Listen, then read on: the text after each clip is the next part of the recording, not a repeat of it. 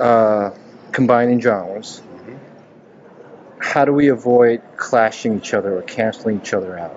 Well, that's just that's something you have to feel. Uh, could you give me an example of a combination of genres that might cancel itself out? Um, well, if not done properly, I guess comic horror or horror comedy could could kind of cancel each other out. I mean, in a sense that it it, it becomes without an identity. I'm not sure. No, I mean, no, something that's, right. no, that's a good example. Uh, and and this is related to the and they- question of falsely leading the audience regarding a false title or well, the title of Uh. "Shaun of the Dead" right. Why? tells us right. Right, right. Okay. Right. Uh, but uh, yeah, how to um, how to um, uh, uh, uh, make it make it really hurt, hmm and then cut to comedy. Right.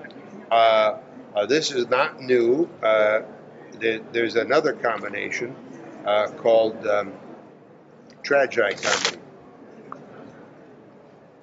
Um, uh, Charlie Chaplin was a master Mhm. of this, of how to um, uh, combine tragedy and comedy, and he could do it.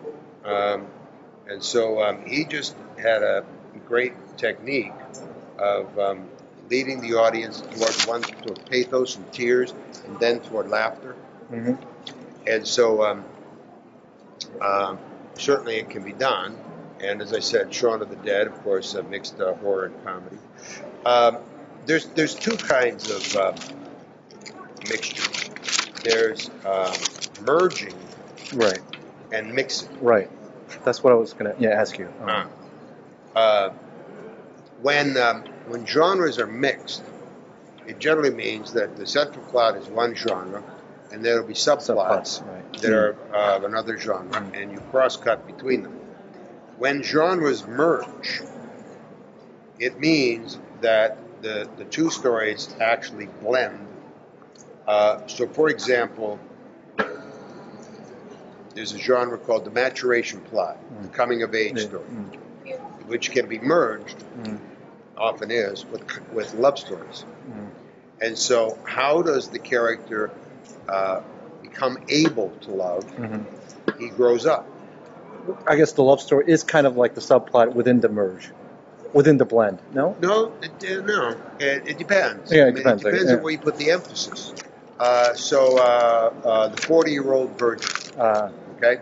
Here's the 40 year old virgin's a combination of maturation, uh, comedy, Mm. and love. And um, uh, which one is getting uh, the most emphasis? You'd have to sort of study that film and, and figure out because they, they really can't be. Um, they can't be separated. Uh, they are merged, and so um, uh, and how you find the balance, or which one is the the dominant one, all depends on the writing. Depends on where you put the emphasis on what's what's really important. And uh, the way, the best way you know that is that um, when you get to the ending, and we're talking about this in lecture. Okay. When you get to the ending, uh, you ask yourself, uh, what is the core value? And if, This is after the first draft, or like. yeah, once you got an Uh, ending, Ending. Yeah. somewhere you get an ending. Right. Uh, and then you ask yourself, what is the core value? Is it really about love? Or is it about growing up? Or is it about the education character or the disillusionment of the character? So forth. Um, where does the emphasis? Uh-huh. And these are these are textual questions, and they can change. I mean, in one draft, you feel that the love story is really what it's about. It's about finding the capacity to love. And then you think, no, no, it's really about changing his attitude toward life. Hmm. Uh, and uh, and in the, the third draft, you think, no, no, it's um, it's really about um,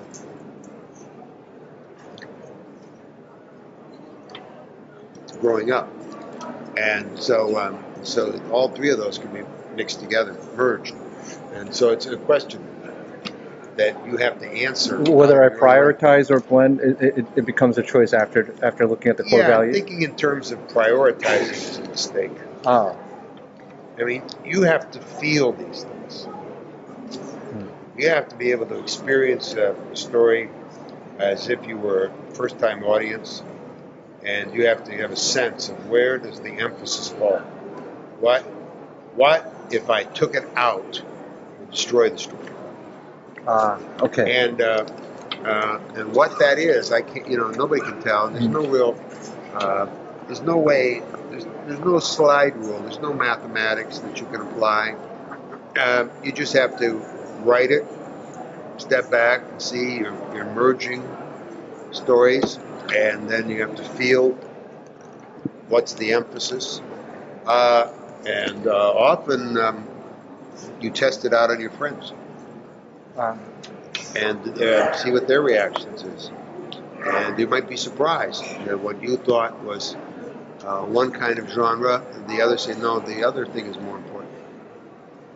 And I and I, I can't give you I can you're right. No, Okay. there's no hard and fast advice. Okay. This you just you understand what it is, Mhm. what mixing and merging means, and then you write, and then you see how it um, how it. Uh, by the time you get to the ending, you really can't know an answer to any of these questions until you get the ending.